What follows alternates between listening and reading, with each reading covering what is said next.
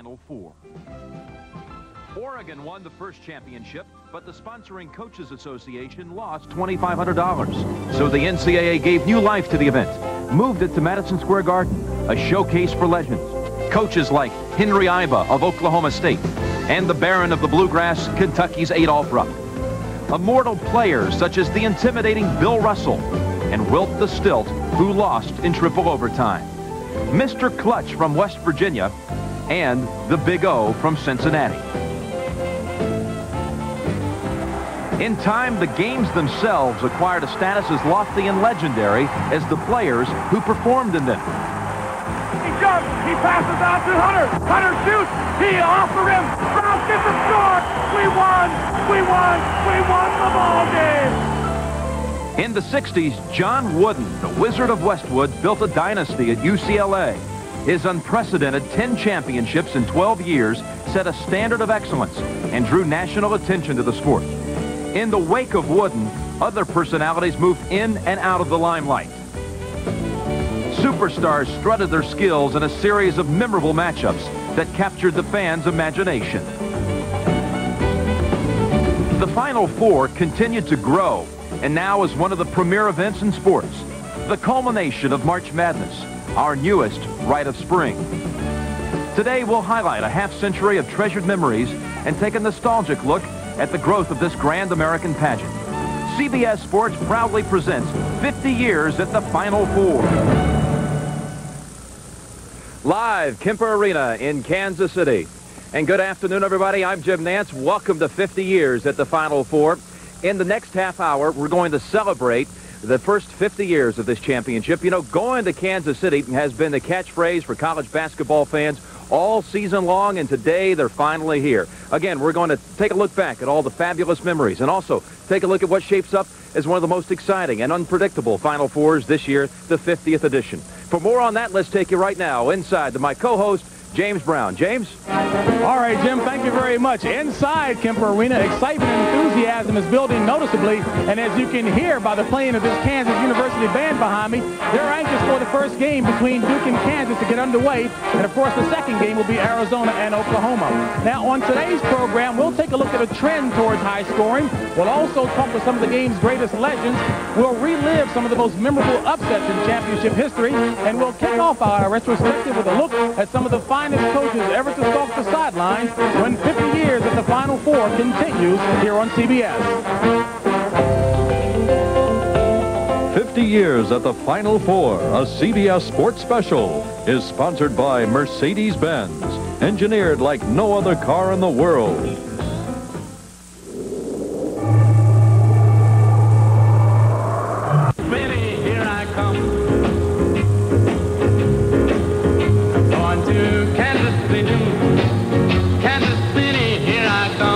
Welcome back to 50 years at the Final Four. I'm sitting in one of the four hot spots in this arena, the coach's chair. Now, interestingly, one of the hottest rumors in the coaching circles all this week concerned Jim Valvano of North Carolina State, who reportedly wants to become the new head coach at UCLA. Now, sources suggest strongly that will not be the case. And those same sources say there will be an announcement later on today that there will be no deal. CBS spoke to Jim Valvano earlier, and he had no comment. Now let's move to today. Three of the head coaches in today's game have been to the Final Four before, Mike Krzyzewski, Larry Brown, and Lute Olson, but yet they haven't captured their first national crown. It is indeed a very precious prize, and only a select circle of coaches have ever claimed more than one crown, and they are indeed college basketball's Elite Eight. There are many ways to define a legend. One of them is through championship performance. In 49 years of Final Four history, only these five collegiate coaches have won the NCAA basketball championship twice. One notch above them is Bob Knight of Indiana, who last April won his third NCAA title to cap off America's year of the Hoosiers. Knight is a notorious perfectionist whose 1976 squad went undefeated. Five years later, the prodigious 19-year-old Isiah Thomas fulfilled his coach's prophecies. And the third title was truly charmed, a testament to Knight's coaching abilities. He wants to play that perfect basketball game. Uh, he would love to win 100 to nothing. And I think that's one of his greatest traits, that he's always trying to perfect uh, his coaching ability and his team's ability to perform on the basketball floor. Mike's coaching genius sometimes manifests itself in seemingly curious ways. He is, if nothing else, a man of intensity, driven to get the most out of his players. If you get on a player for making a mistake, now only one of two things can happen. Either he makes the same mistake again, you got to get him out of there, or he re realizes and he improves. And when he improves, you just say, now that's the way to, to do it all the time. He was known as the Baron of the Bluegrass, Adolph Rupp.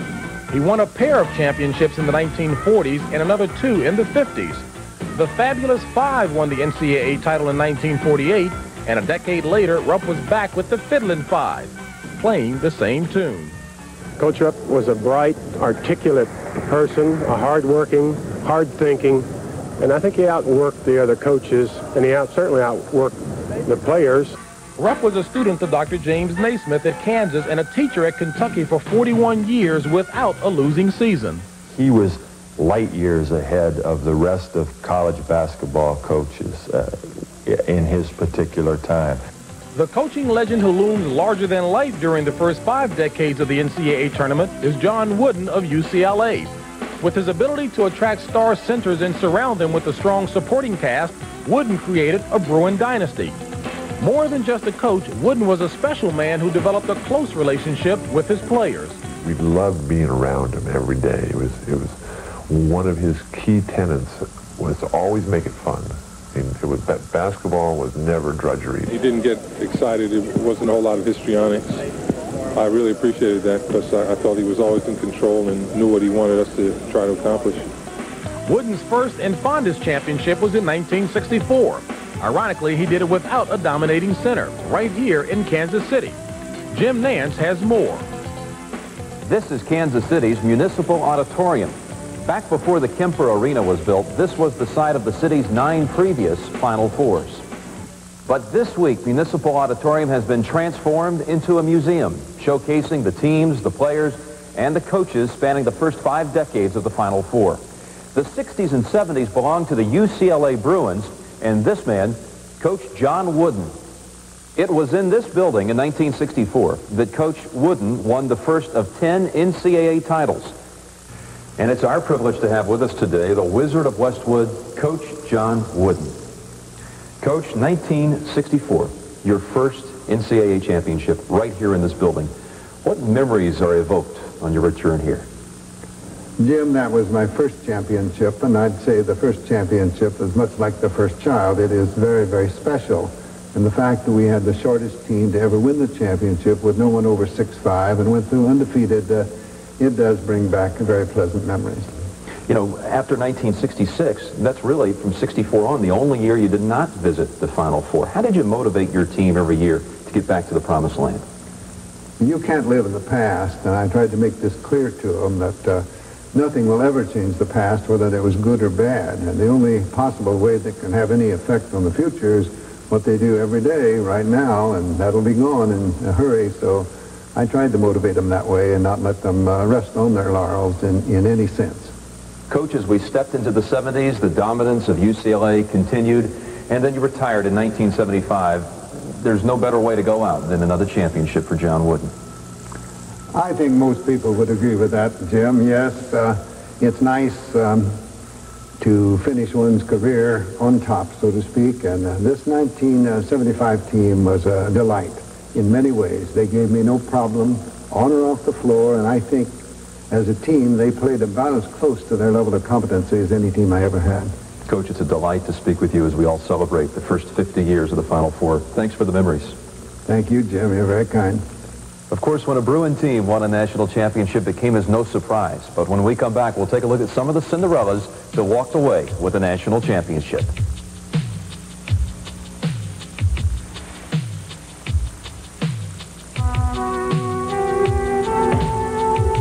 Told me I'd never make the team, but I proved them wrong. They said our team couldn't win the conference, but we did.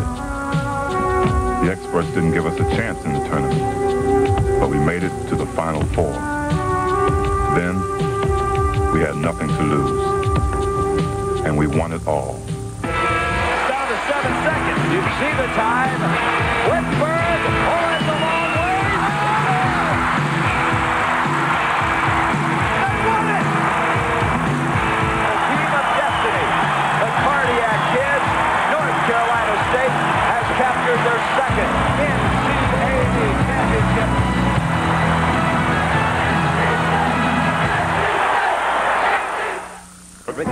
Arena in Kansas City for the 50th Final Four.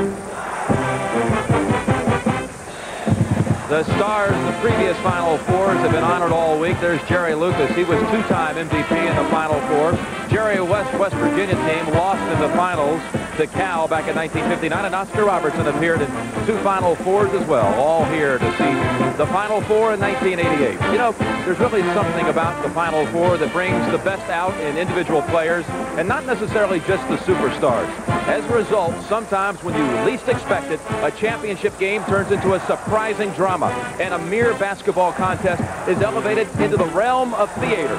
Such was the case back in 1957, when undefeated North Carolina played underdog to number one Kansas. It was perhaps the greatest college basketball game ever played.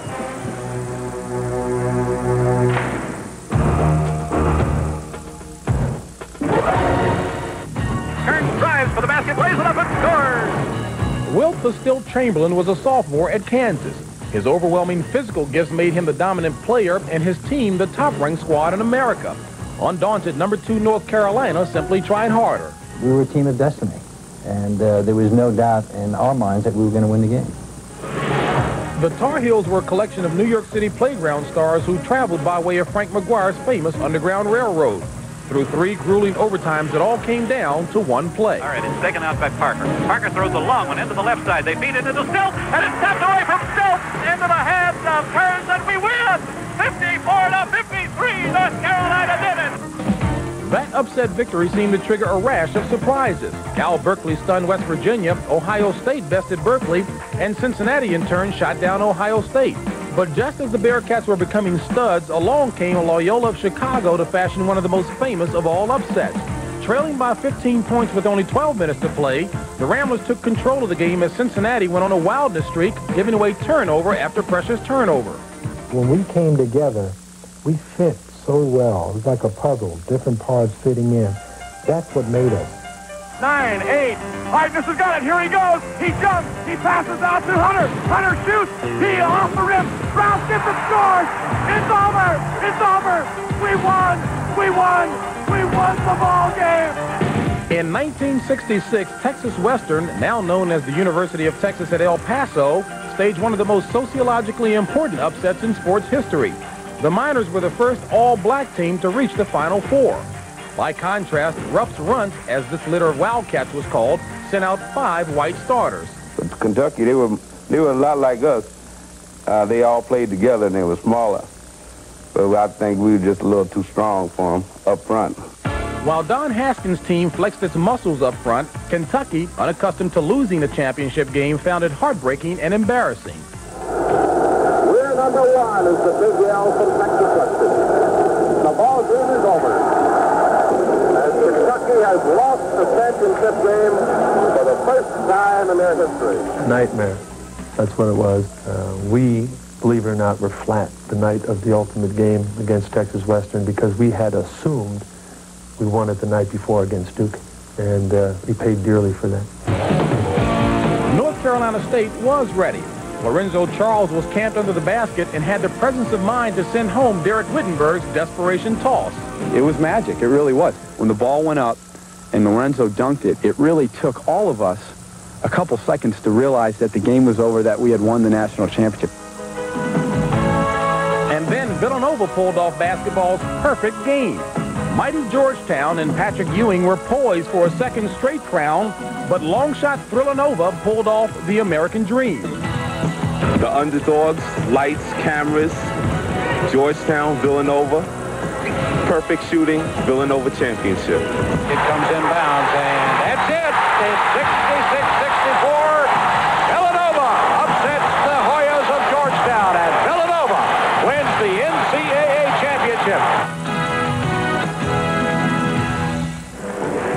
Carrying the banner for Kansas University today is another big man by the name of Danny Manning, 6 feet 11 inches tall, multifaceted, multi-skilled player who pretty much single-handedly has brought the Jayhawks to the Final Four. And going back in time now with the architect of perhaps the greatest upset in championship history, with me is Mr. Frank McGuire, formerly of North Carolina. Is the memory of that upset win over Kansas and Wilt Chamberlain just as sweet today as it was then? Oh, much sweeter now because we can see the result of what actually took place then. We were the uh, missionaries who started all this big hullabaloo. This is a great, great spectacle. You had mentioned to me there were some special things you did in preparation for that game. What were they? Well, when we put our smallest man against the, the, to play the biggest man in the world, actually, Wilt Chamberlain, the best basketball player. And I thought psychologically that would help us. All right, and there are a couple of other coaches who are hoping psychologically they can pull off upsets here in the Final Four. And we'll have more on 50 years at the Final Four right after this.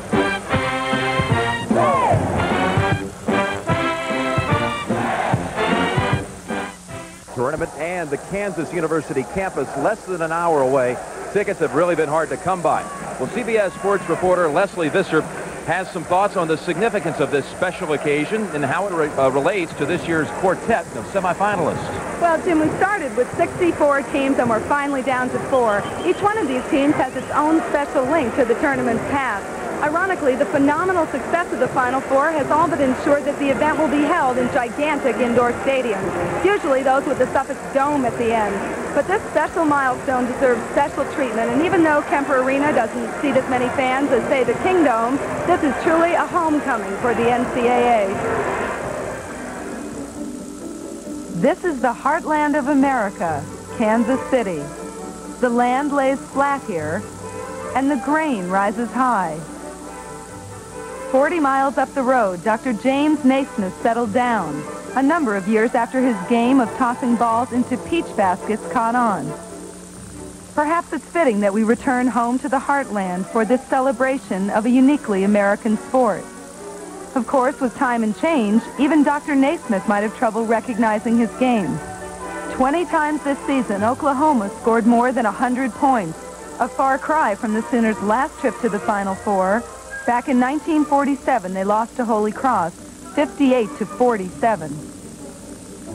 Still, Naismith would have been pleased to see two Big Eight teams in the Final Four. In addition to Oklahoma, Kansas is making its eighth appearance. And all week long, Danny Manning's been hearing how the Jayhawks marched to their only title in 1952, led by Clyde Lovellette's 33 points. What Danny probably hasn't heard is that the legendary Big Clyde got lost in a fog the night before the game. He couldn't find his way home, he didn't get any sleep, and he barely made the tip-off. You can be sure Danny Manning will be here on time. Duke is no stranger to this event. Back in the 60s, the Blue Devils made it a habit, with teams that were high-scoring on the court and in the classroom. With four starters on the dean's list, the Blue Devils dominated the college boards even before they arrived on campus. Out west, Arizona blazed its way to the big shootout for the first time. And folks are wondering, who are these guys? No one from the Pac-10 had reached the Final Four since UCLA in 1980. Ironically, Arizona is led by a group of transplanted Californians and one of Tucson's own who stayed home to give the local fans a moment in the sun. When all is said and tallied, Oklahoma, Kansas, and Duke have been to a combined total of 14 Final Fours. Yet only one has emerged as champion. And they all know how elusive that golden moment can be. Saying goodbye to a car you've owned for years is a lot like saying goodbye to an old friend.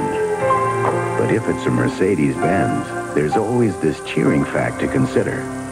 Over the years, Mercedes-Benz automobiles as a line have retained a higher percentage of their original value than any other make of car sold in America. And that can make the sorrow of parting a little sweeter. Excuse me, are you the Milton Pitts? You found him. Terrific. You're called Washington's official barber because you shave everyone from senators to cabinet members. Just take a look at that wall, son. Milton, what do you shave these powerful men with, huh? A Bic shaver. Bic? Not your barber's razor? That's history. Bic is the best darn shaver I've ever used. Okay, now who's that getting shaved with Bic? Just look for the best shaved senator on the next debate.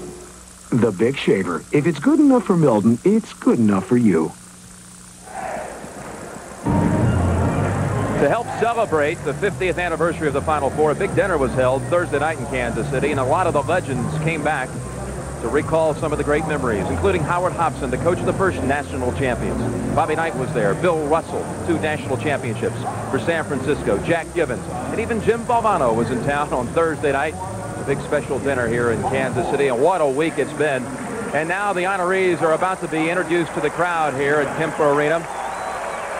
And it's been a fantastic week. Lesley, what are some of the memories that have been brought back to you this week as we honor some of the special participants? Well, Jim, Bill Russell, a man not given to great emotion, said it was one of the most special moments he ever experienced. James? Johnny Wooden, as great as he is, as highly visible as he is, he never used the word I when he talked about success. It was always we and my players. Well, it was terrific, I thought, seeing Howard Hobson 85 years old. He was the coach at Oregon when they won the first national championship back in 1939. He was on hand, as well as Henry Iba. And there's Mr. Hobson. You know, moments from now, the 50th Final Four will get underway right here in Kansas City, and the torch will be passed to a new generation of players. As they take to the court, they become, in essence, the living link between college basketball's glorious past and its seemingly unlimited future.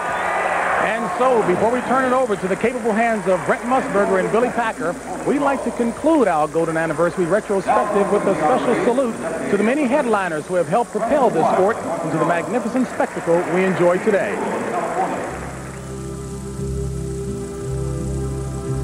Fifty years at the Final Four, a CBS Sports Special, has been sponsored by Mercedes-Benz.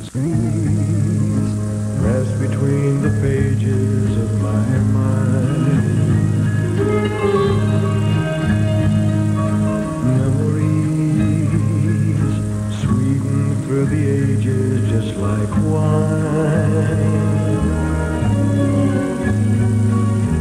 Quiet thoughts come floating down and settle softly to the ground like gold of autumn leaves around my feet.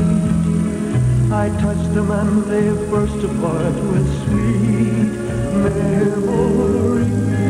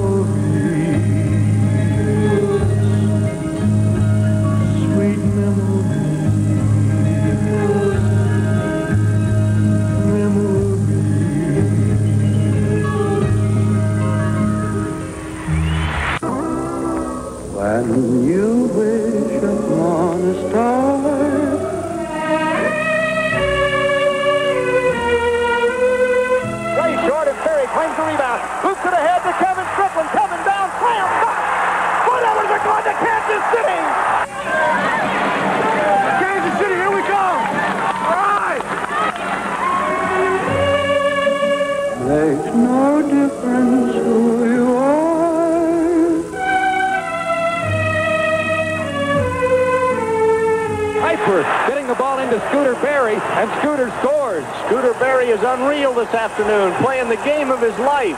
The Hawks ball their way into the stockyards and the Final Four at Kemper Arena. We're going to the Final Four, baby. What's that, Anything your heart desires.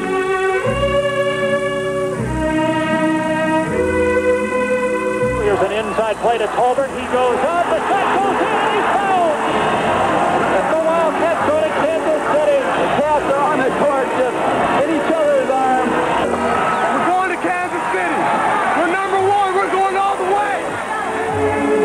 come to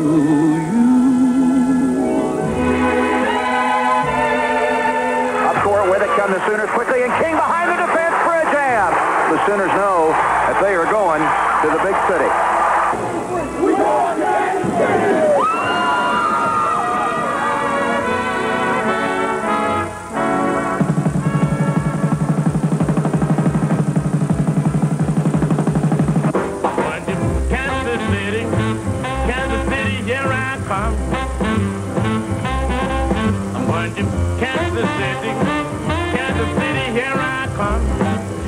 Three weeks, the road to the Final Four has reached its destination, here in the city of fountains, where hope springs eternal. And college basketball fans can't wait to unleash their emotions as their heroes strive for a national championship.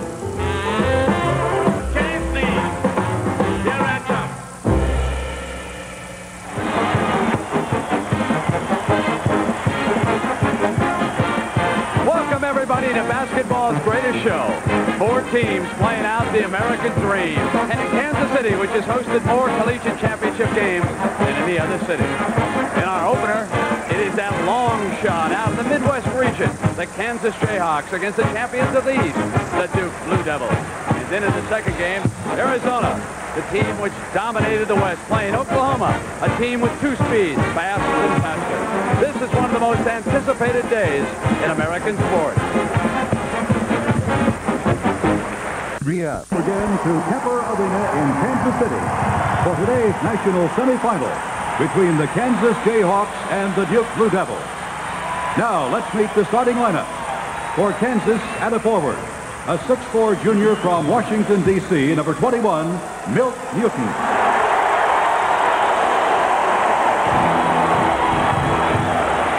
For Duke at forward, a 6'6 senior from Sterling, Virginia, number 55, Billy King.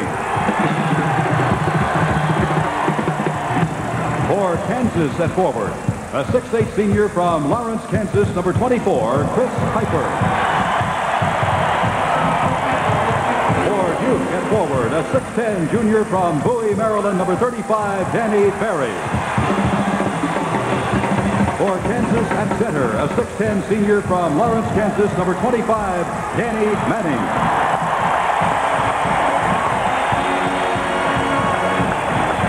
For Duke at center, a 6'5 sophomore from Fayetteville, North Carolina, number 21, Robert Brickey.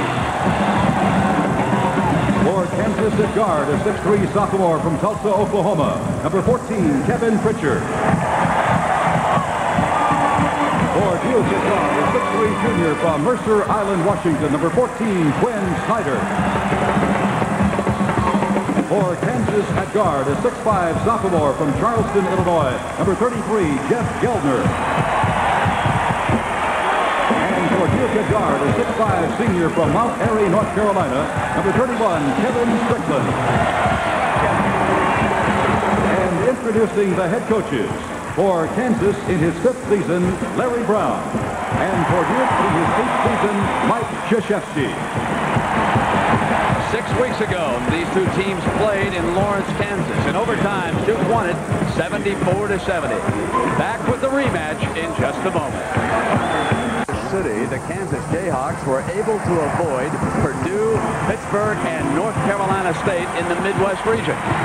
As for Duke, their road through the East Regional was a little more difficult. They had to beat the top seed, Temple, by 10 points to get to the Final Four. The referee today, and he's a good one, Booker Turner from Los Angeles, California. He will work alongside the two umpires, Jim Burr and Larry Lembo. Kansas in their road uniforms. Duke, the higher seeded team, they will wear the home whites. But the crowd very pro Kansas. The university down in Lawrence is only about 45 minutes away from the Kemper. Danny Manning's first shot partially blocked, and Duke controls the ball. Tough man to man, and it looks like it's going to be Brickey on Ferry early on. A tough matchup for Brickey because Ferry's got about five inches on him, Brent. Watch him see the next time down the floor if we don't see Danny Manning moving down inside on Brickey, using that height advantage. Brickey, 21, did not practice much yesterday. We'll develop that story for you. Here's their point man, Quin Snyder, underneath the basket. Ferry misses his first shot, and Pritchard, the point man for Larry Brown, brings it across the timeline quickly for Kansas. Nice job by Piper on Ferry that time. And there's Manning going down inside on Brickey. So the turnover.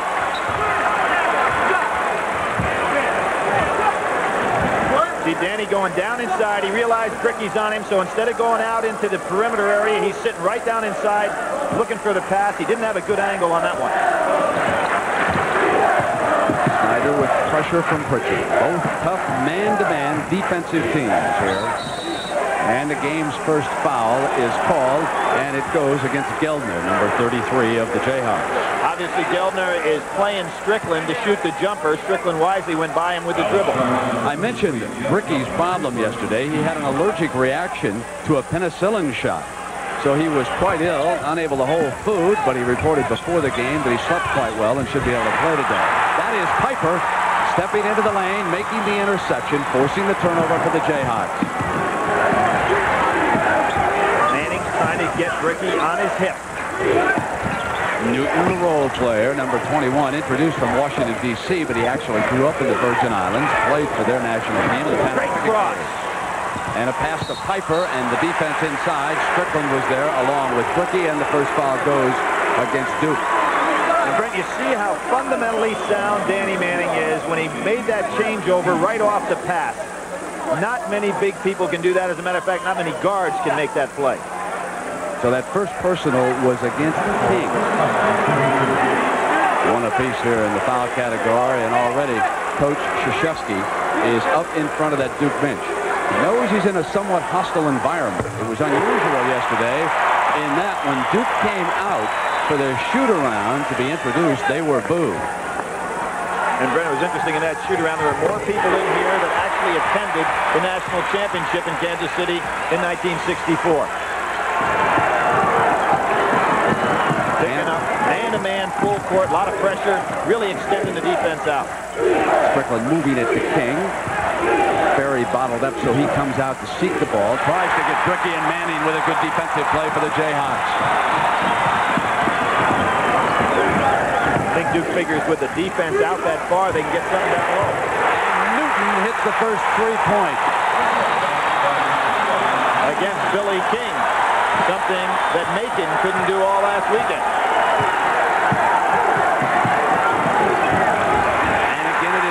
The Kansas defense now forcing mistakes on the part of Duke. Gueldner.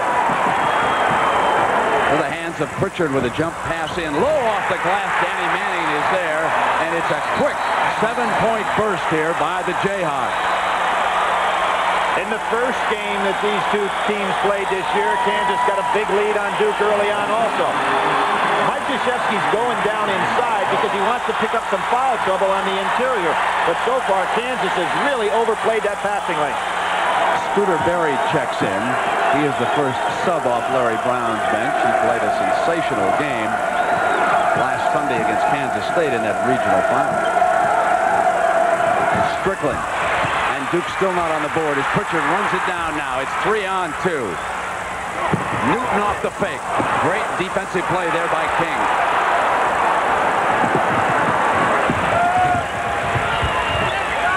Ferry. Short. Not close. Long rebound run down by Pritchard. And Brent, when you're down like this early in the game, you're wanting to get a better shot than that.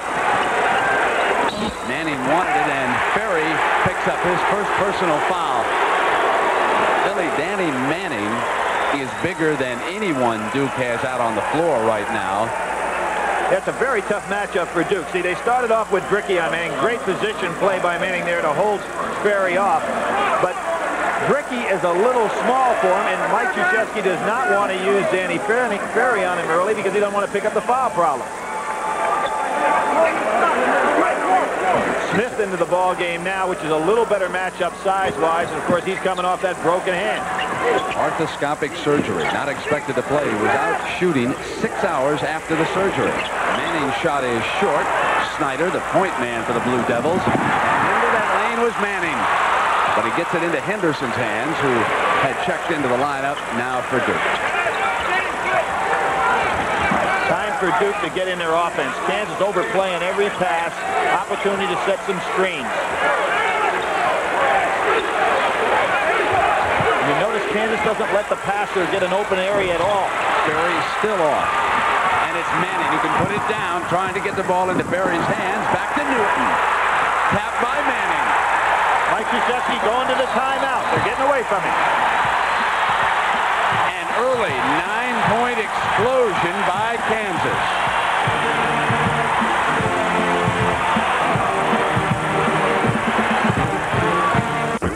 Record, the poorest of the four teams here, only 25 and 11. Larry Brown lost six Jayhawks since the start of the season. He has used 12 different starting lineups, yet he has been able to retool and bring this team here playing in front of a very partisan crowd in the Final Four, 16-20 to go, and he has broken ahead of Duke 9 to nothing. Danny Ferry 0 for 3 at the start of the game. Good switch that time by Manning. Henderson. Pritchard rebounds. Duke can't buy a bucket early. Both teams really extending the defense out. I think Manning can get a shot on the inside if Duke's going to play that far out. Now it is Smith eyeing Manning, and Newton's three is there. That's his second three-point shot. And Brent, Kansas had Duke down in the first game 23 to 8. Duke can't get a basket. And the foul. Pritchard reaching in on Snyder. And Mike Krzyzewski will go back to his bench. And he will return Strickland to the lineup. And he will try Ala Abdel Nabi for the first time. They will check in. Now, Abdelnaby gives him a little more height underneath. He goes at 6'10". He's a sophomore from Bloomfield, New Jersey. It is obvious against Manning, who is playing with enormous intensity. And please remember that he fouled out the last time these teams met in the Final Four in Dallas, scored but four points. He has come back to be the player of the year, and as Billy Packer told you before the game, he reminds one all of Larry Bird and what he did. Another turnover forced, and it was Manning with a hand on it. Newton goes for two.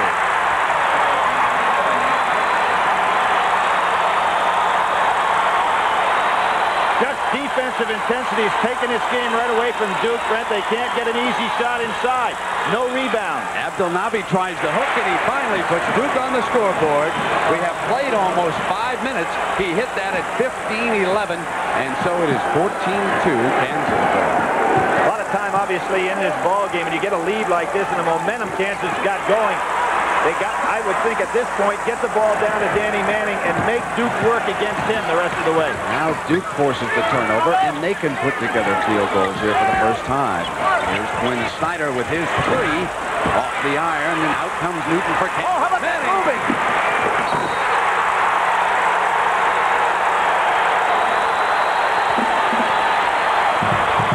Sensational play by Danny Manning, breaking out of the pack. He that Newton had the rebound. He took off. Duke had bad floor balance. And then Strickland complicates everything by fouling on this play. You might as well let, let a player like Manning put it in there. No chance to block that dunk. Just heads-up play by Danny Manning. Proven he can do about everything, running on the break and filling that lane. Manning, grew up in Greensboro, North Carolina, moved to Lawrence, Kansas when he was a senior. And his father, Ed Manning, took an assistant's job alongside Larry Brown, and the two have stayed side by side for four years. Danny Manning says it's been bittersweet having his father, Ed Manning, alongside of him like that. He said there are times when he's been too critical, but when the times are good, it's awfully nice having Dad alongside of you. And he sits down for a couple of words from his coach. I think a nice move here by Larry Brown. He's got the lead. He, has got an opportunity to rest Danny Manning and keep him out of foul trouble, which is one of the keys in this first half. Jumping out is Piper, and he fouls Ferry. That is three team fouls on Kansas, three already on Duke.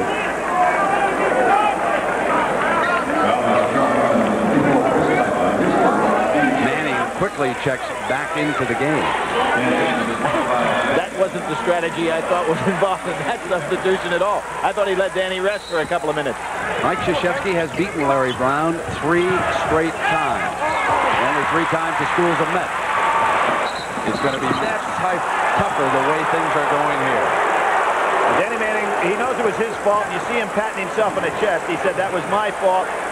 Committed himself by going up in the air. Mike Krzyzewski really upset with his ball club in terms of the way they're trying to pass the ball. But give a lot of credit to this Kansas defense. They've extended the perimeter to the point that Duke just doesn't have any passing lanes. King, Henderson, Strickland, Abdelnaby, and Ferry try to get it going right now for Krzyzewski. Newton out on King. Ferry, but there was a whistle. And the foul will go against Newton. That's the fourth team foul. Probably a good foul by Newton, though, uh, Brent, because Duke had the numbers down on the inside. Ferry could have had a layup. Quin Snyder, the point man, returning for Krzyzewski. Manning already with seven points in the game has exceeded his total in that semifinal a couple years ago in Dallas.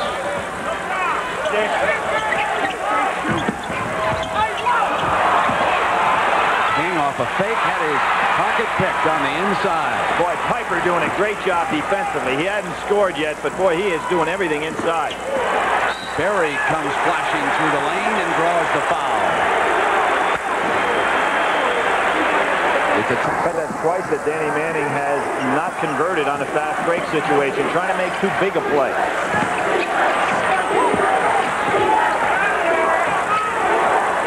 In Strickland comes over from the weak side to help out defensively. Touched by Duke. So the ball will go back across the timeline. Knocked out of bounds with Strickland reaching in.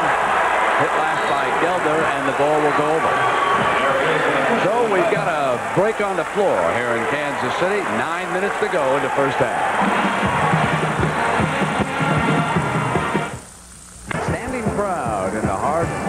Midwest, Kansas City, Missouri. And here their Jayhawks have exploded, holding the Blue Devils scoreless for the first five minutes. And they have out-rebounded Duke 12 to 5. Now, Billy, what must Duke do here to get back in this game? Well, the first thing I think they should remind themselves that they were basically down this far at Kansas. What they have not done is gotten into their offense and all, and the reason for that is the great Kansas defense, particularly on the outside. So they've got to get back in an offensive structure, and I think set some screens from the backside. Koubek's three-point shot is on the money. The three will help get you back, too, won't it?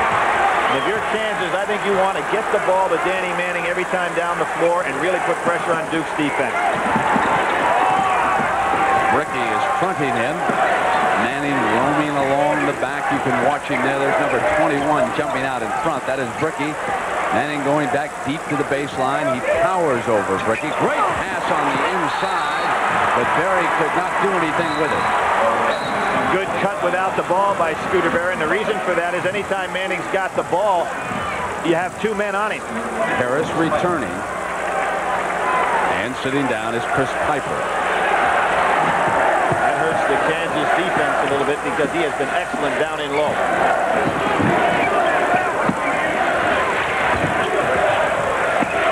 Strickland on the run was left free as he got into the heart of the key. And that's where they missed Piper because he would have been down in there for a potential block. Normore returning for Kansas. And Barry sits. Now Larry Brown really has to look for a ball handler. It's always got Manning. Yeah, that's true.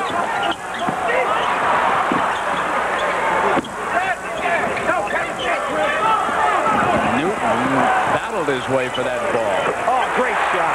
He just wanted it more than Snyder did. He proved in the Pan Am Games he's a scorer. Leading scorer for the Virgin Islands.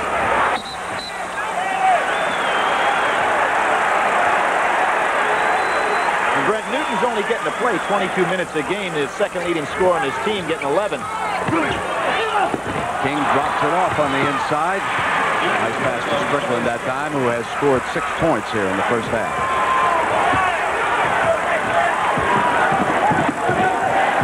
Football player in the Final Four, huh? Larry was short-handed, so he had to get a couple of football players to come out just to allow him to scrimmage during the week. And Newton. He's eating up Billy King. He is five of seven, and that Billy could be the unknown Jayhawk here this afternoon.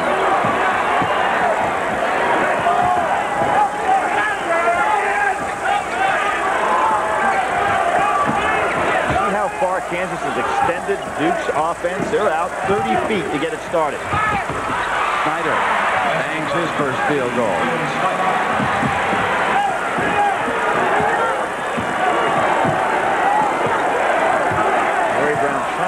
Some rest for Pritchard out here.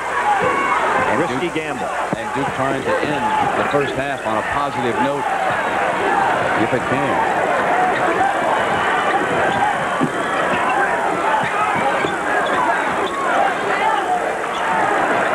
Using a little clock. Smart move by Kansas. Manning staying out of the perimeter, puts it down, gets inside out to Nave and hits a runner. When he's got the big guys, Brent, he goes outside. When he has the small guys, he goes inside, can put it on the floor. Very gifted player. It's hard to find anybody in the college game who can stop him one-on-one. Perry coming up, he was fouled, and that's two on Gilman. And that's seven. They are over the limit. So they'll be shooting one and one. Five team fouls against Duke, so they still have one to give here at the 341 mark. But Kansas leading Duke 30. The remaining part of this half. If you just joined us, it was an early explosion by Coach Brown's Jayhawk team here. And the defense triggered it. Their first six points coming off turnovers. As you mentioned, this young man, the ACC's Player of the Year over J.R. Reid. And back again next year. Got a television timeout here at the 341 mark. It's 34 to 23, Kansas over Duke. Ever since your post office invented express mail overnight delivery, others have tried to copy our Eagle. But it's not so easy. Of the Kansas defense. Well, it has been sensational in the NCAA tournament. Defense is your constant. Brendan, you can see what Kansas has done throughout the course of this tournament. Just sensational, holding teams way below their average. Not quite as good today, but I think what's interesting, although defense is the constant, how about the variable? Exactly. Larry Brown today has shot 64%. Jayhawks hitting their last five, and they've held Duke to 47%. Henderson with a hand on the ball, knocking it away, and Barry returns for Kansas. I wonder if Mike Krzyzewski is thinking now maybe to show a little zone before the half ends, just to throw Kansas off and give them something to think about. Billy, coming into this game, the experts said that Duke was the deeper team, but here in the first half, Larry Brown has rotated as many players as Mike Krzyzewski, both using nine. He has, I think, a real testimony to his outstanding coaching and ability to work with kids because they are not that talented. There's Harris, knocked away by Brickey, gets it back. Probably shouldn't have shot that shot. Manning attempts to save it, but he stepped out of bounds. The ball goes over to the Blue Devils. Now, Harris has to think about shot selection a little bit. With this kind of lead and this kind of time, you want to make sure Danny Manning gets a chance to touch the ball.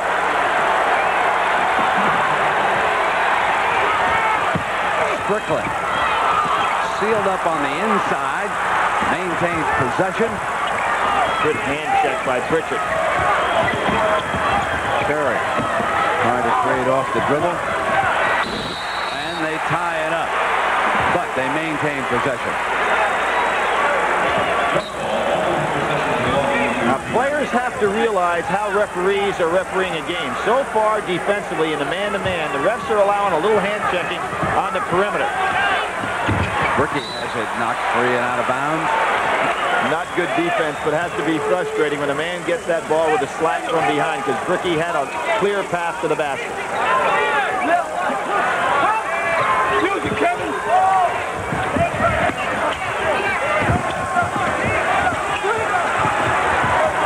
Perry in the corner loses control. Great Kansas defense. Duke just doesn't have any free passing lanes, and they're a little frustrated. That was their opportunity to get it down below 10.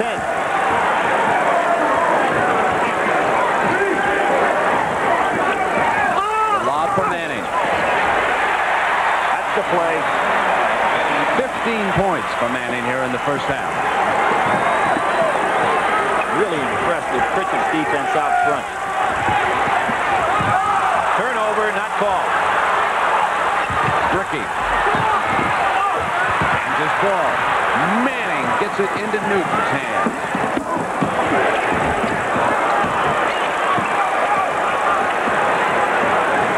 Inside of two minutes here in the first half. Strickland. And Brickey fouled by Manning. And what a difference from two years ago. That is the first personal foul called on Danny Manning in this game. Well, that's what Larry Brown told us yesterday, Brent. He wanted to make sure in the first half Danny Manning had no more than one foul, even if it meant that he wouldn't be quite as intense on defense as normally. He has been intense and has stayed out of foul trouble. And I would credit that to the great perimeter defense by the Kansas guards because nobody's been able to get an easy pass inside.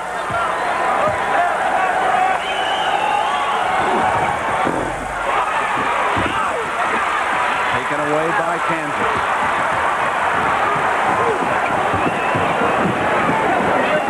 Wait on the big guy. There he is. It is, and he jumped the pass off beautifully that time. And coming in is Newton, who has scored 14 points for the Jayhawks in the first half.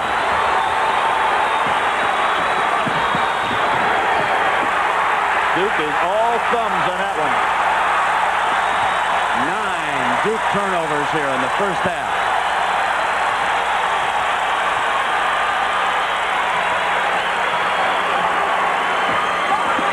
Well-drilled club. Now, are they going to let Danny Manning handle it? Get either a shot or a good pass. Koubek is 0 for 2 in catches. Snyder runs it down in the corner.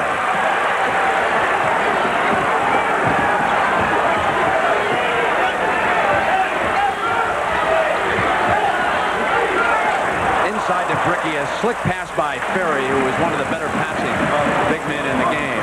Larry Brown wants one shot here. Good move on his part. Don't know if I've seen a better defensive first half by a club in a long time. Perry switches over to guard Manning.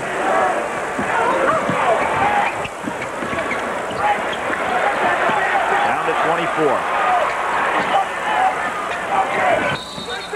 Newton foul.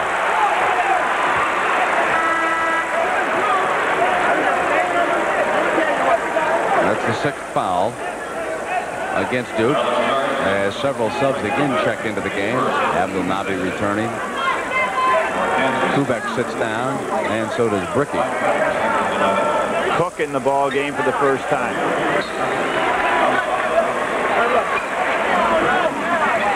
Well, it's been the Manning and Newton show so far. They have scored 29 of Kansas 38 points. Henderson also off Coach K's bench. And again, Larry Brown substituting right along with Krzyzewski, returning Gueldner and Mike Maddox. He's used 10 men. And it goes over with 14 seconds left in the first half. But that was a big turnover for Kansas because they didn't need to try to get the ball down inside at the, that occasion.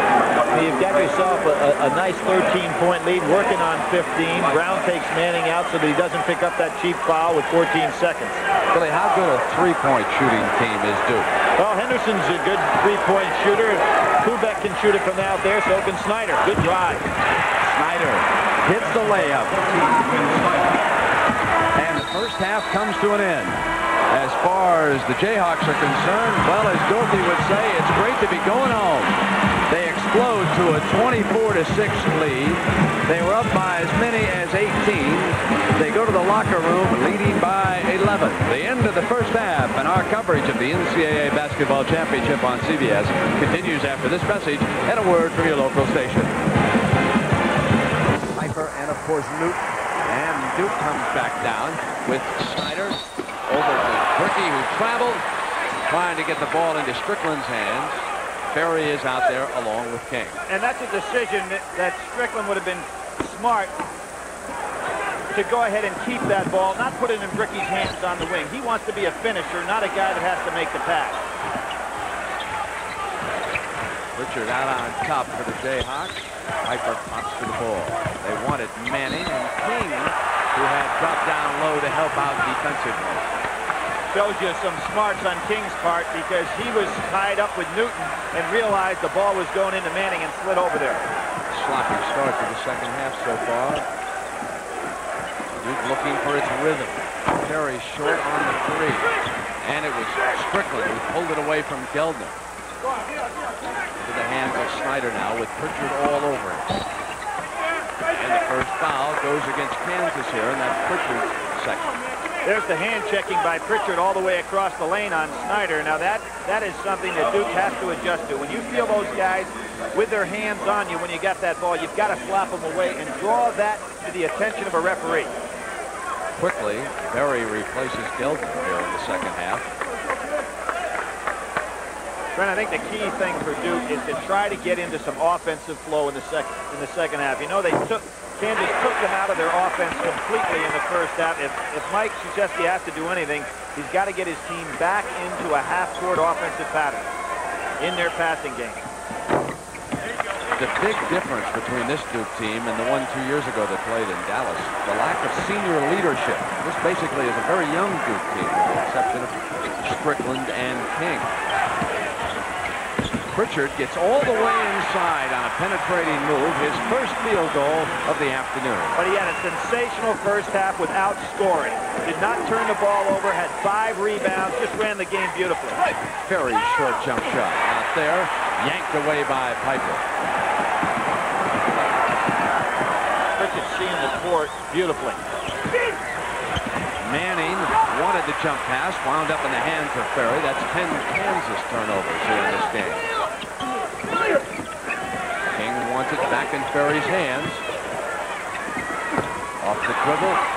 Ferry's not shooting well, and the reason for that, Piper's doing a great job on him defensively. Newton won't stay, and Ferry yanks away the rebound. Three on two. And again, that Kansas defense. Now, it's off King's leg. Great steal from behind. Mike better be careful. He's going to swallow his gum over there on the Good side, piece. trying to get back in this. Good piece of officiating there. Both teams a little sluggish here to start this second half. They can't get the ball back into the offensive flow the way they had it. At least not in Kansas' case, because they played very well offensively in the first half. No.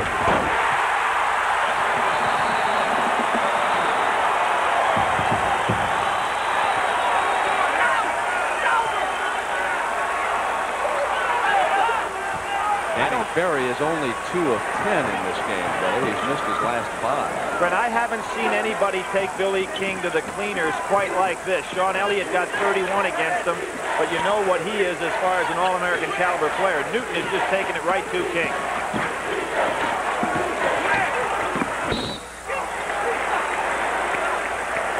Snyder jammed a finger.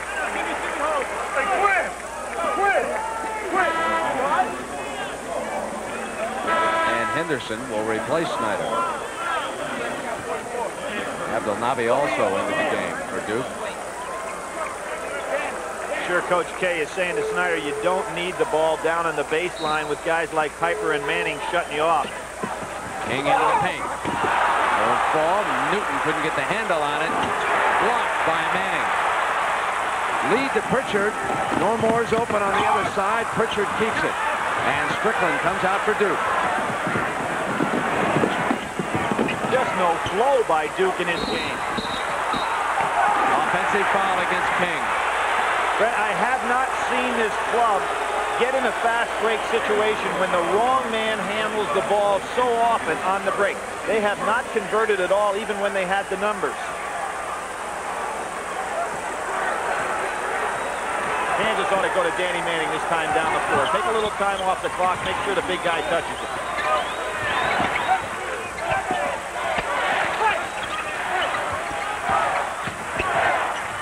The open man is Piper.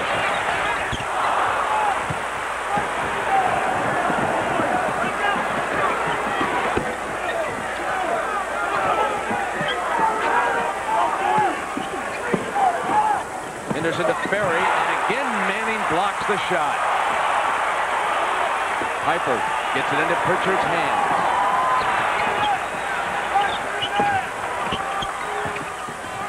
There he is.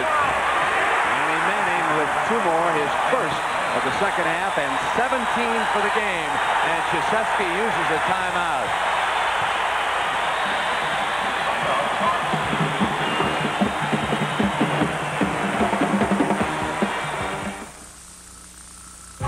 Connection in this game. Duke's Mike Krzyzewski played for Bob Knight when Knight was the head coach at West Point. Then he served as an assistant coach under Knight at Indiana, and Bob there in the blue sweater and the Duke button, watching intently as his former player and assistant coach has fallen behind 44 to 28 with 16-16 to go as Kansas has played just an outstanding game here this afternoon, especially on defense. Piper moving those feet, just cutting everything off for Ferry. Now it's Strickland's three and out, and here comes Normore now into the hands of Pritchard. Back and they go. Pritchard not there, but Manning trying to clean up. He does.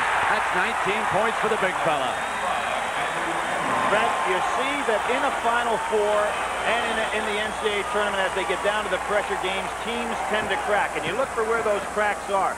That was the first one I've seen from Duke, taking a very bad shot. We're starting to panic with his score this high right now. And, and it's going to cost them. Perry gets it back to Strickland.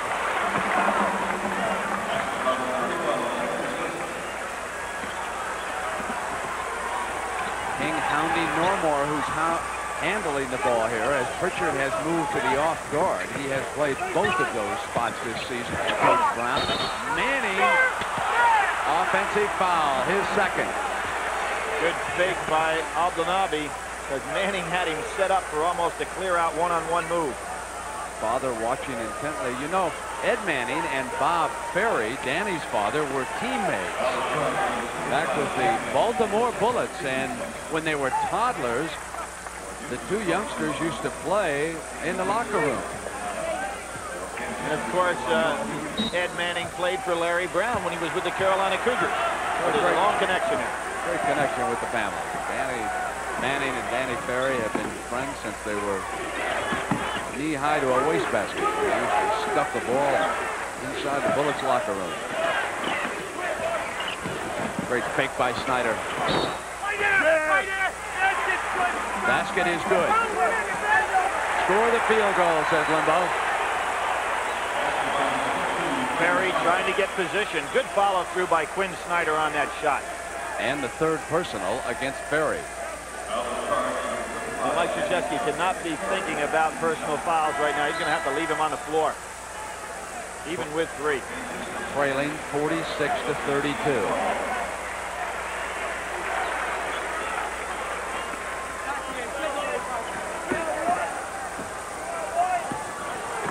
Man with the ball right now has been the key to Kansas' great play the second half of the season since he moved to the point guard.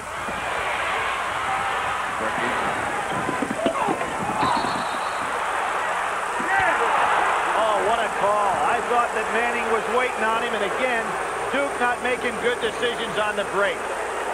Here you see Brickey committed way on. There's Danny Manning waiting on him. I thought that was a charge all the way.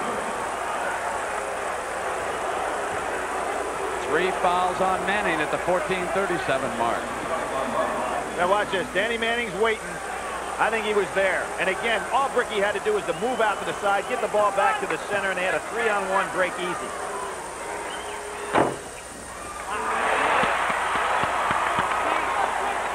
Duke at the free throw line is only 5 of 10 here for Krzyzewski.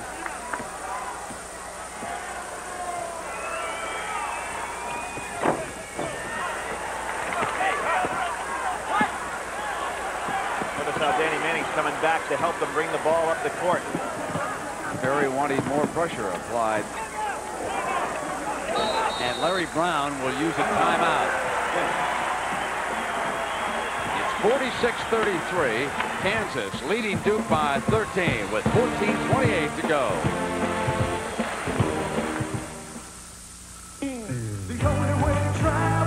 Well, here with Kansas up by 13. There's a lot of heat on the two point guards. Quin Snyder struggling today with one assist and three turnovers. The surprise in this game has been Kevin Pritchard. Now, he was born in Bloomington, Indiana. He was a blue chip prospect out of Tulsa, Oklahoma. His parents book entertainment acts now, including the Oak Ridge Boys, and he's making some pretty music here for the Kansas Jayhawks this afternoon.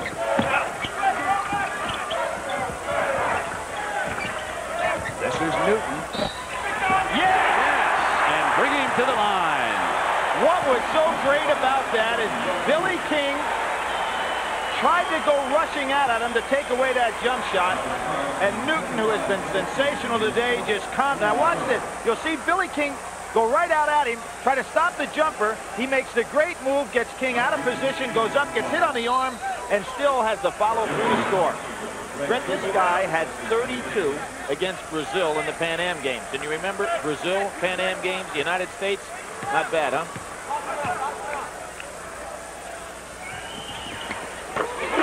He redshirted one year at Kansas and is coming on strong today. This best game he played, although he had 19 in the second half against Oklahoma. Perry glides the baseline. Manning careful there not to pick up another foul. He just knows he wants to stay out on the court right now.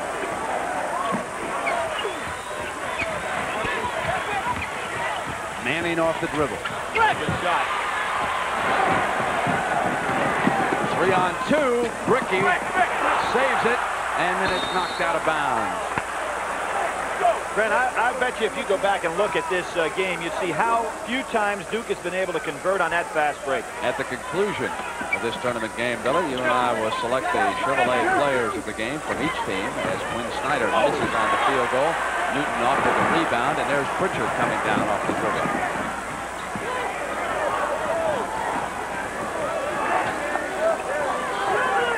Lob inside to Manning. Misfiring again. Wound up in the hands of Brickey. Danny Manning's getting a little tired right now. May need a blow because he doesn't miss those kind of shots often. Ricky thought Manning was right behind him. Missed on the fake, and Perry hit it on the follower. I think Larry Brown's going to have to give Manning a rest. Whether he does it by slowing the game down a little bit or whether he takes them out, Manning's tired right now. Still 12.50 to go here in the second half. Duke gets it on the turnover. Snyder pressures it out of control. Brickey taps up. Offensive rebound again for the Blue Devils. That was Koubek hustling for it. Strickland bluffs the three. And here's Brickey off the dribble. And again a block inside. Couldn't get it to fall, and it's Ferry, and he is fouled this time. That is the second on Newton. Larry Brown going down that bench. He's got a tired team on the floor right now. They've given tremendous effort on defense. Brickey goes inside. Piper comes over to help as he did. Really set the stage early on. Brickey can't score. Barry puts it up, gets hammered. You got to be able to convert those on the inside. I cannot get over Duke on the fast break today. They've had so many chances to convert and have not been able to do so. There is Manny, Billy, taking the break you spoke about. Well, Larry Brown is a great, great coach. Final four, you think of the 80s, he's been here three times, Brent. Two different teams he's taken to the Final Four. Only eight coaches in the history of the game have done that. And surprisingly, two of them are here. Lute Olson the second. We'll right. see him in the next game against Oklahoma. Now, what Kansas cannot afford to do here is start looking at that clock. There's a lot of time to play. Duke's making a big run on them. Abdelnaby returning here at the Kemper Arena in Kansas City with Billy Packer. I'm Brent Musburger. 12.23 to go. Duke fell behind, giving up the first 14 points in the game. And now it is down to 10. 49-39, but it has been all uphill this afternoon in this national semifinal for the Blue Devils. But they are on a 10-3 run right now over the last three minutes. Open offense here, looking for some backdoor cuts. The Duke fans taking heart in the fact that Danny Manning is not on the floor right now. Knocked away from Pritchard, and it'll go over to the Blue Devils. That's turnover number 14 by the Jayhawks. Larry Brown's got a thought here, Brent. When you get down under 10, that's kind of like a magical number to get down into single digits. Manning comes right back in the game, only sat down for about 30 seconds. Kind of like how long you want your starting pitcher to stay in that game. Strickland, who has been handled here this afternoon. Koubek explodes, and there is Manning. He comes up over him because Manning cannot afford to pick up his fourth personal foul. They get inside the magic 10. Got to go to Manning this time. Take a little time off the clock. Let the big guy handle it. There he is. Nabi off his foot.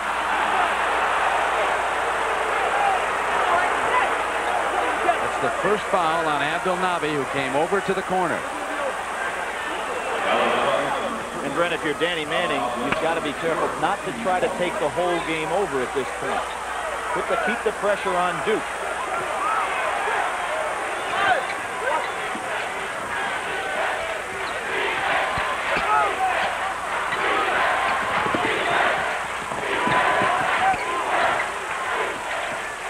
Koubek watching Harris.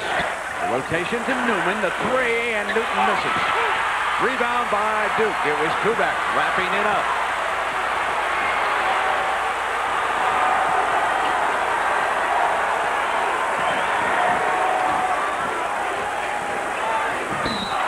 Offensive foul on Snyder. There's that defensive technique in football. Third leading tackler on that Kansas team and did a great job moving those feet. Perry returning. Piper also back in for Kansas. On the floor for the Jayhawks right now. Newton and Pritchard, along with Piper, Barry, and Manning. And for Duke, it is Brickey, Henderson, Berry, Koubek, and Snyder. Piper trying to get it to Manning, finally does, and that soft jump hook.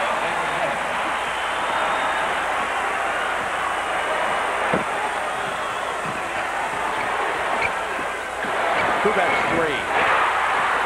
Second one for the freshman today, and Duke has not been able to get the three-point shot off.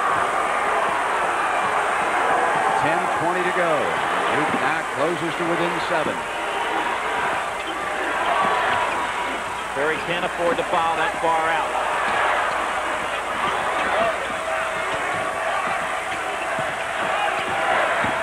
Duke's making the passing lanes tough. Brickey fronts Manning. Pritchard off the dribble has it knocked away. Kansas ball. 17 left on the shot clock. King returns for Krzyzewski. And Snyder sits down. It has been a struggle for the Duke point guard here this afternoon. He also jammed a finger. Piper takes the inbound pass. The lob for Manning. Couldn't handle it. Into the hands of Brickey.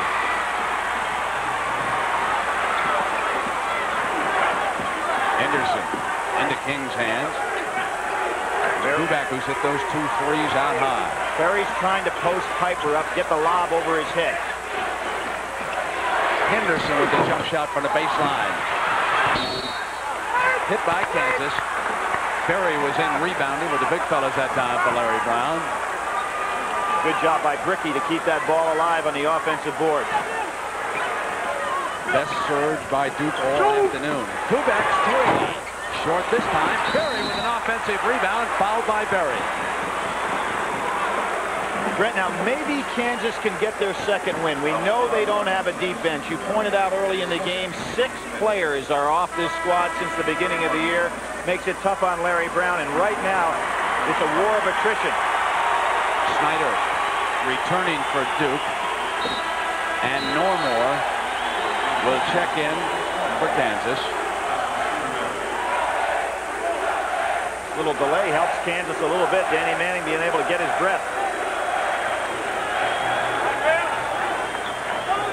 So here so far, Duke's run is over the last five minutes. Manning and Newton have carried the offensive load for the Jayhawks. Billy King still looking for his first basket and playing now with four personal fouls, trying to contain Newton. Gets the ball on the inbound pass. There's his first field goal. By Ferry. Almost had to be perfect.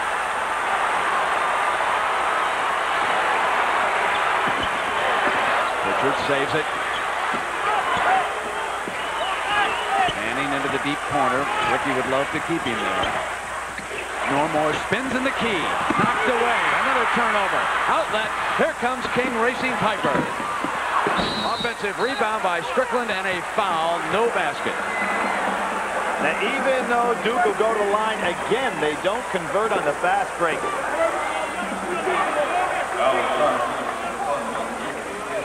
Now, Duke should try to get on that foul line, Brent, right away so that they don't allow Kansas to rest.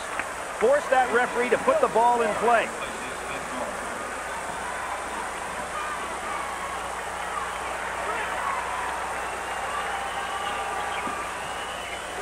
Deep pass to Brickey.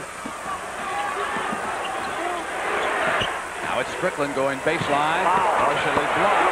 No foul call. Piper winds up with it for Kansas. And now Danny Manning gives it up to Pritchard.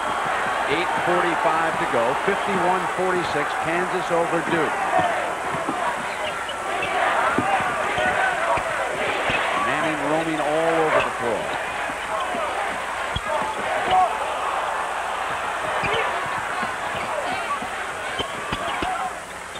Here's Piper.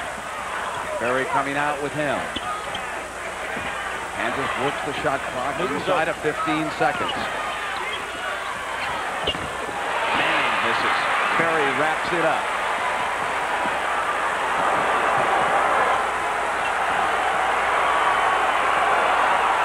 Smart play by Duke to slow things down, make sure they get the good shot. Cross to Strickland, the three. Big moment for Duke, and it wouldn't stay down. Now the Jayhawks are back. Crowd coming to its feet here in the Kemper. Newton behind his back. Piper.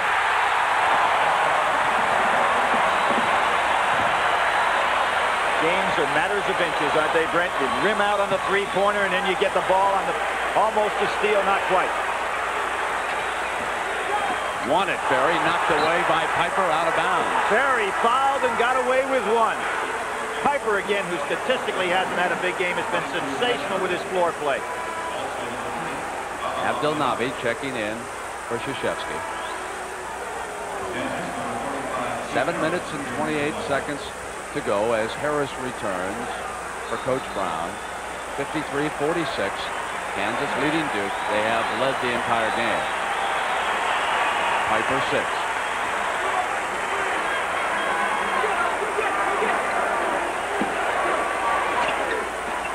Very fine Snyder who gets inside on the penetration. Manning can't get control. Ferry jumps in and the possession arrow pointing in favor of Duke University going to get the ball down on the inside. That was a good rebound by Danny Ferry and a good reach in by Quin Snyder. He's very good at that after a man gets the rebound against him. Then both teams wearing down a little bit, Brent. They're having a hard time with their shooting touch in this stretch.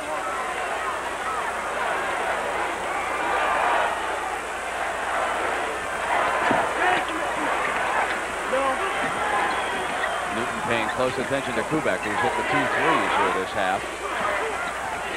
Off the fake. Koubek misfiring.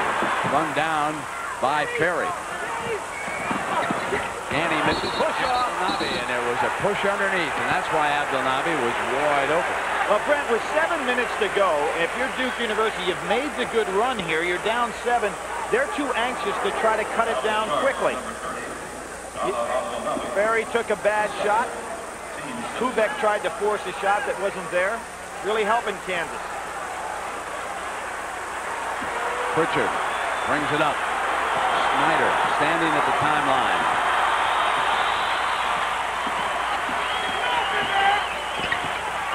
Knocked away by Abdelnaby. Manning goes for the loose ball, and it is tied up again, and it's Kansas possession. Remember in that first Duke-Kansas game, that ball that went out of bounds, Danny Manning made that great dive for the ball. Now Manning's just trying to use up a little time, get a breath. Fred, do you notice the change in the crowd? When the game started out, it seemed like it was a Kansas crowd. As this game has moved along, it seems like the Duke people have gotten a little bit more boisterous. King returning. I think the Arizona and Oklahoma fans might have started cheering the for. Duke because they want a close game. A little action before Oklahoma and Arizona move center stage. Deep to Newton on the inbound. Out to Pritchard. Penetrates. There were two Jayhawks. Piper runs it down loose. And here is Manning. Ricky tracking him. He's shipping the pass, and the turnover is the 17th of the game against the Jayhawks. What you see the Jayhawks doing right now is they're looking so much to get the ball to Manning and Milton that they have not had an opportunity, uh, to Newton, they haven't had an opportunity to get anybody else in the offense. They need that third scorer right now. It may have to be Pritchard. Now Newton will sit down as Harris comes into the game. And also off that Kansas bench for the first time today is Lincoln Minor, the 6'3 junior out of Houston. And Barry, after shipping that ball out of bounds, will sit down on the Kansas bench. So it's Henderson coming up now for the Blue Devils. They trail at 53-46, 6.20 to go. Ricky. Offensive foul. And how about Piper? Brent, what is it? Has he scored today? Maybe two points? He has scored eight, Billy. He Eight? scored Oh, six well, in the first half. That's half. a quiet eight then because I, I haven't seen a guy play a better defensive game. Of course, that's what he's known for in the Big Eight. Speaking of the Big Eight, what a year this conference has had. Two teams in the Final Four. Great season all the way around. Minor comes out to the top. Pritchard ships it in now to Manning on that turnaround. That's 23 points for All-American Danny Manning. That may be his best shot, that little turnaround jumper from that area. Back to nine. Piper leaning in, going to the glass that time. He has scored 14 for the game. He's hit 6 of 17 here this afternoon.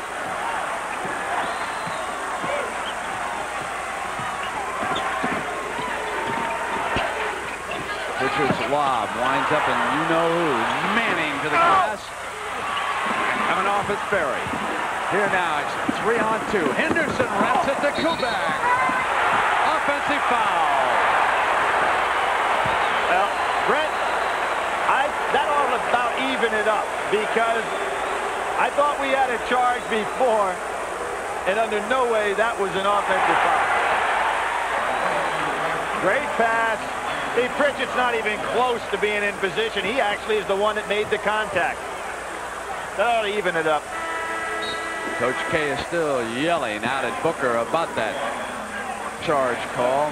Scoreboard stays at 55-48 with 5.15 to go. Snyder's rested. He's been on the bench. What a fabulous job by Pritchard today. The stamina he showed to handle that ball so much. Pops out high.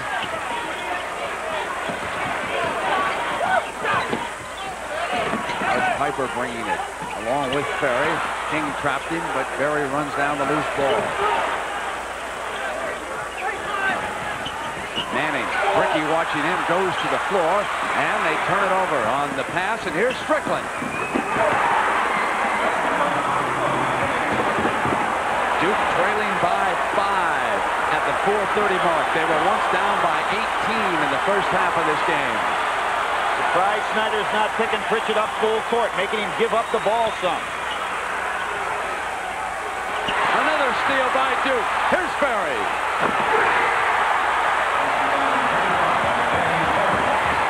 Brown's got to go timeout here, Brent. His club is exhausted. I would imagine when they get up over half court, he'll call it. Duke pressuring them meanwhile. He's not using one. It surprises me. And inside of four they go. The closest we've been since the early moments of the game. Down to three.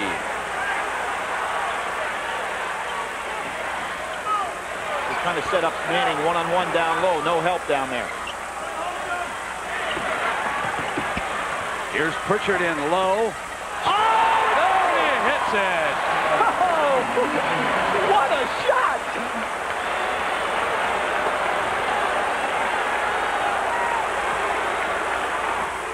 Now it's Snyder wanted it, and Manning stepped in and intercepted the pass. Now you notice what Mike Krzyzewski put Billy King on Pritchard. Change here. Kansas goes to an open offense. Nobody in the low post now, looking for those back screens, backdoor cuts.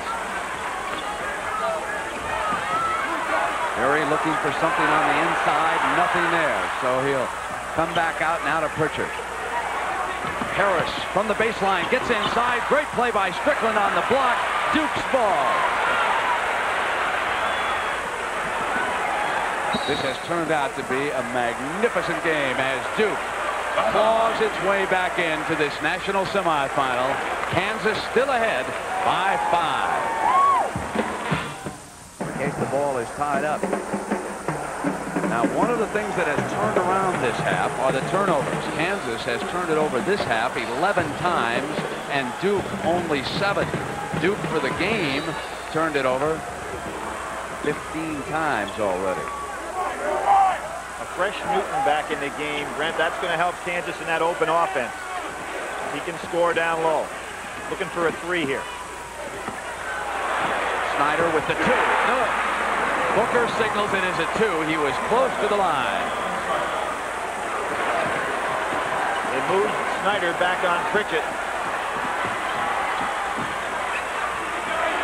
That's because Newton came back in the game. Good cut. Pritchard's open. Manning follows. 25 for Manning. Got to be thinking three-point play here. Strickland trying to get open.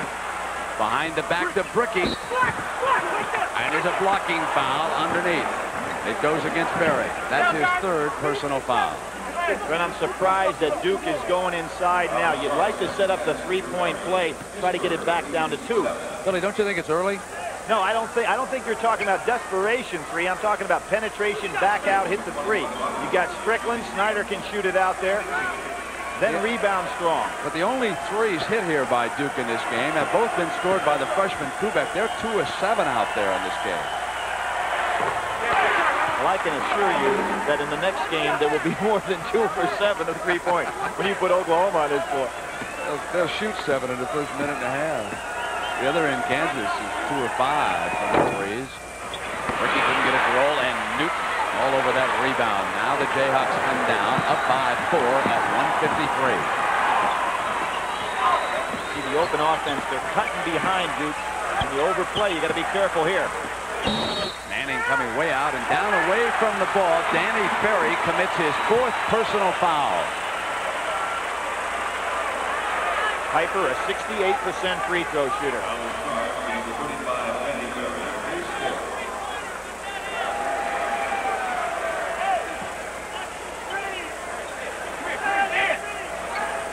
Brent, how often do we see it in these tournament games? It goes down to those free throws. You can just put the nails in the coffin or let a game slip away from you. Danny trying to explain that he was giving ground there to Piper, who steps up to the free throw line with his eight points. He's been perfect in his two free throws so far. And he runs it to three. Young man's had a great game. Interesting thing, he went to Lawrence, Kansas High School. His team won the state crown before Danny Manning got there. Danny Manning's senior year, they did not win it. Four of four and a big game for Piper. It goes back to a six-point lead now inside of 140. Good job by Barry, not giving the three. There's Snyder's three. Again, they miss. Kansas drops the ball out of bounds as two players go for the rebound that time. Mike Krzyzewski calls for his team to run the 1-4 offense. Now he knows with two possessions, he's got to go ahead and get those threes up. Danny Manning, did you see that blood on his, I believe it was his right leg. I can assure you he doesn't feel a thing.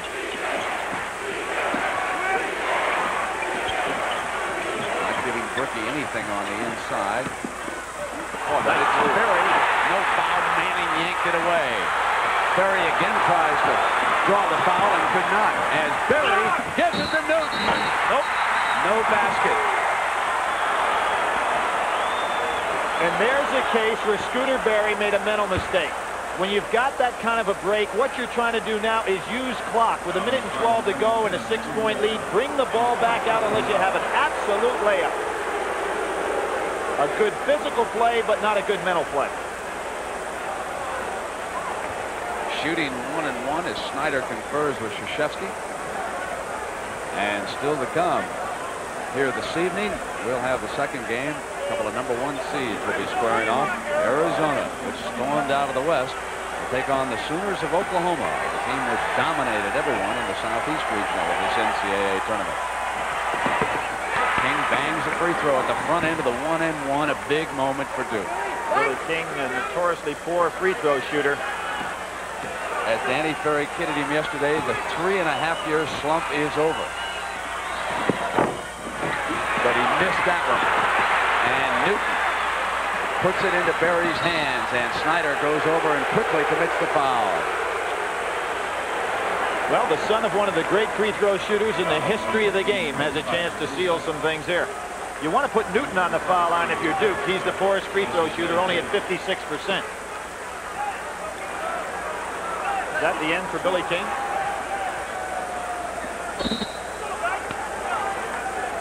No. King with four, sitting out right now, and Ferry with four. What I think we're seeing Mike Krzyzewski doing here is that little defensive substitution. He brings Koubek back in, so he's got three three-point shooters out there.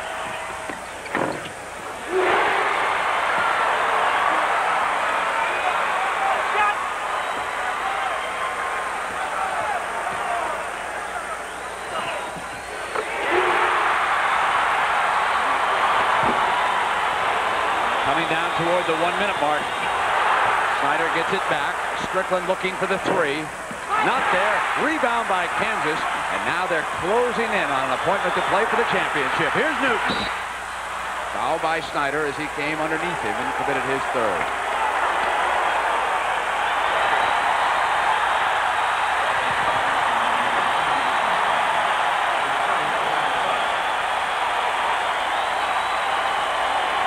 He looks like a professor, but Larry Brown can scream with the Bob Knights of the world.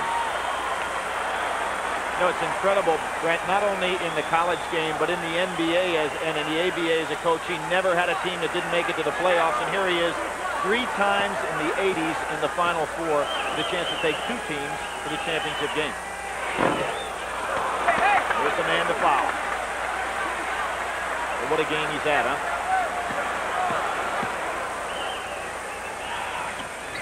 Billy, that's 20 points with seven rebounds.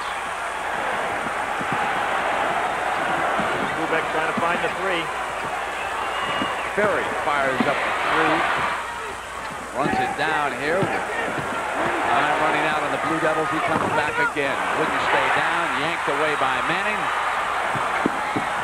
Wanted Newton again. Pritchard goes after along with Brickey. And Duke comes back. Ferry's three, missing again. And Kansas is going to play for the championship.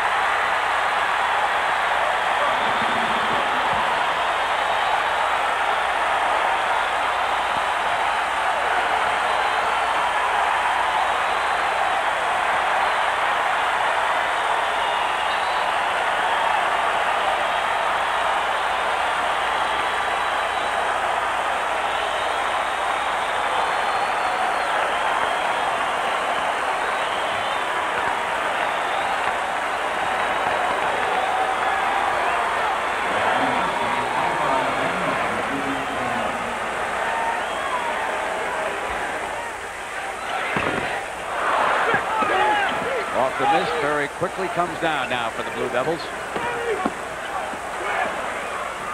Snyder into the hands of Brickey, rejected by Manning, who has had a monster of an afternoon.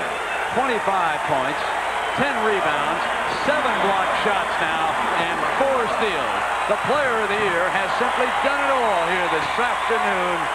And how proud is this man over on the Kansas bench?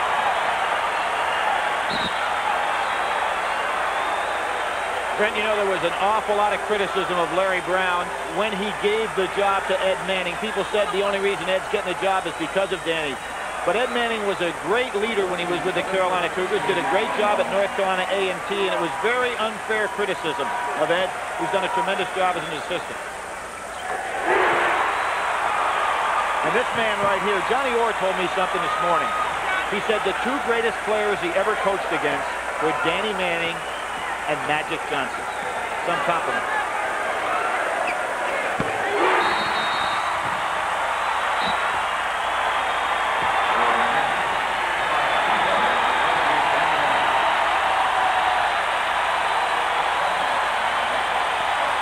And the big fella leaves to a standing ovation.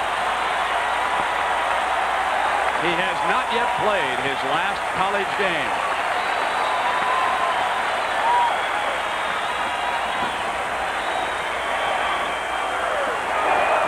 Barry puts in a three-point shot. Just two ticks of the clock left. You know, back in 1957, Kansas came to the championship game right here in Kansas City, and it wound up being an all-time classic. North Carolina needed three overtime to get past Wilt Chamberlain and Kansas. Now the Jayhawks will come back to a title game only 45 minutes away from their campus. Another great big man, Clyde Lovellette, who will be going into the Hall of Fame this year. He led his club to a national championship right here in the city. We'll come back for the Kansas celebration when we continue in a moment. And they have never been headed, although the Blue Devils made a great rally here in the second half. They were unable to get the job done. Jayhawks will play for a national championship.